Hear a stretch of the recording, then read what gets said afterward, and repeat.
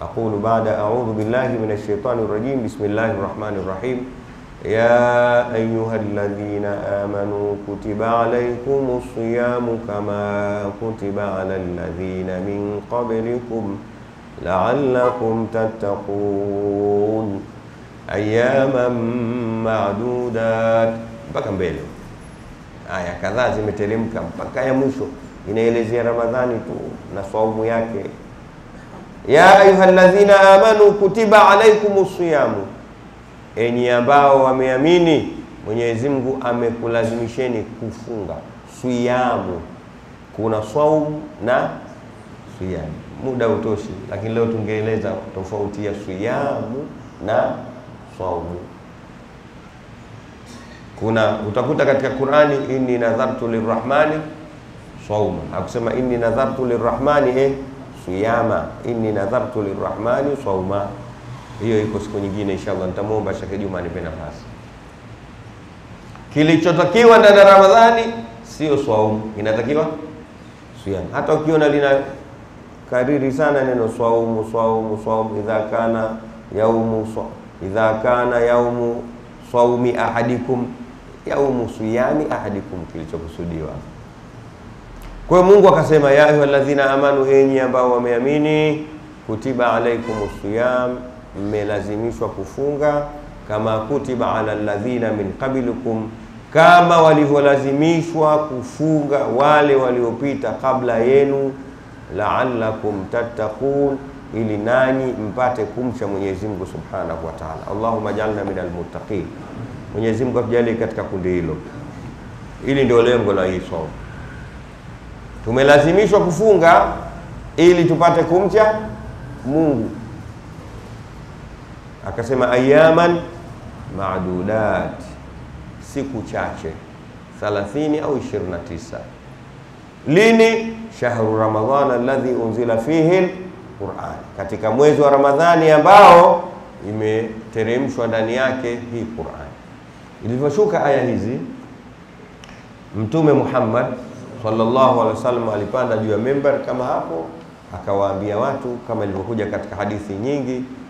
Tuichukue hili aliyopokea Imam Ahmad na Imam An-Nasai na wengine. Sallallahu alaihi wasallam alisikika akisema, atakum ramadhanu shahrun mubarakun Jamaa, imekujieni Ramadhani, mwezi wenye baraka, mwezi wenye piga mstari.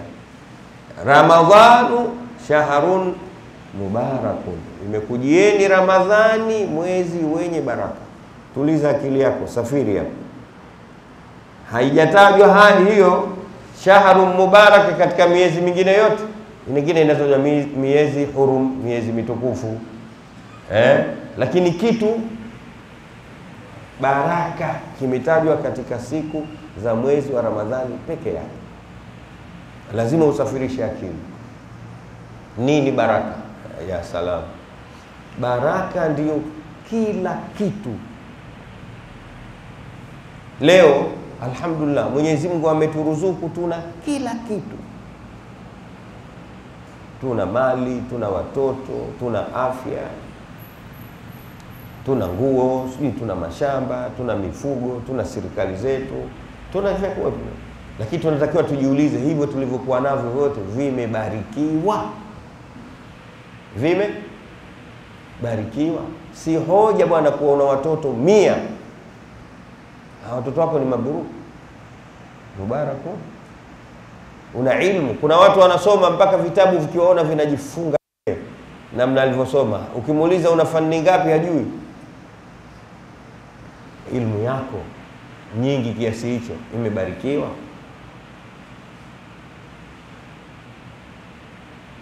Una mali, mali yako mubarak. Hapa ndio pa kuchunguza, lazima tutafute baraka, na ndio maana wenyewe walioyajua hayo huko nyuma hawakutaka wingi wa vitu, wao walitaka wingi wa baraka. Na maana yake nini? Ziada ya utukufu kutoka kwa Mwenyezi Mungu kwa kidogo ulichokuwa nacho, ambacho Mwenyezi Mungu anakitizama wakati wote, anakitilia jicho lake. Hii ndo baraka, na ndio maana watu, kuna mtu amepita huko ameishi umri wa miaka hamsini tu, lakini mpaka leo utajo wake miaka mia na kitu tangu afe, utasema bado hajakufa. Nini?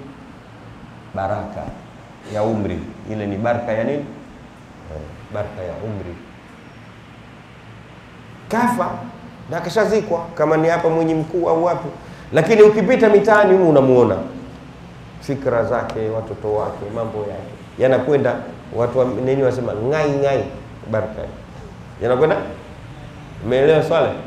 E, ngai ngai. Leo lugha hii unaielewa? Baraka ile, kuna watu hawakusoma sana kabisa kama tulivyosoma sisi, mpaka tukafika jamiati fahimati tuka graduate tukarudi na miilimu lakini hatuonekani kuna mtu akasoma kitabu chake kimoja tu babu hiyo hiyo, lakini akitokea watu wote ile shakhsia yake tunajua huyo mwanachuoni kaingia. Nini hiyo? Baraka. Akisema neno ni neno lake, akikataza amri ni amri yake. Baraka. Mimi napenda kutoa mifano karibu. Umeona hii Magomeni, hizi nyumba zote hizi, wakina babangu pale, mkwe wangu upande mwingine wanajua hichi nachokisema. Hakuna nyumba iliyojengwa thamani yake ilifika mia tatu wakati huo, hizote hizo swale. Na wakati mwingine sengine mtu alikuwa akifanya kazi duni, lakini aliweza kufanya kazi akapata mshahara, ukajenga, ukasomesha, ukalea. Leo nyumba Magomeni ndio umenunua rahisi milioni mia mbili au umeuza milioni Yeah. Mitaa ya Idirisa huko nyumba ishafika karibu bilioni moja, ilishuka tu kipindi cha mwenda zake hapo, lakini kwa nyumba ishaona kule kwetu kule bilioni nyumba inauzwa, watu wakachukua ile bilioni yote, baada ya siku tano wote hawana hela. Nini? Baraka. Kariakoo huko majumba yameuzwa, waliouza majumba yale wote sasa hivi nyanga nyanga. Baraka. Mungu anasema katika Qur'an walau anna ahla alqura amanu wattaqaw lafatahna alayhim barakatin minas samai wal ard walakin kadhabu faadhaknahum bima mpaka mwisho.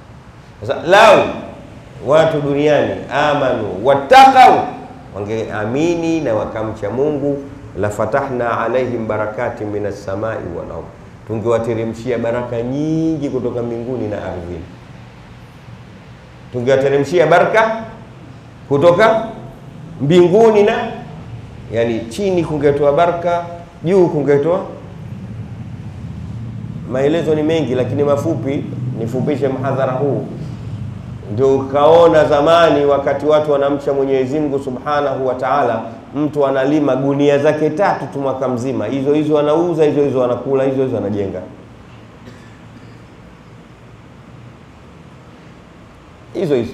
Siku yenyewe ilikuwa ndefu, masaa ishirini na nne yao sio sawa sawa na mwaka mmoja wetu sisi.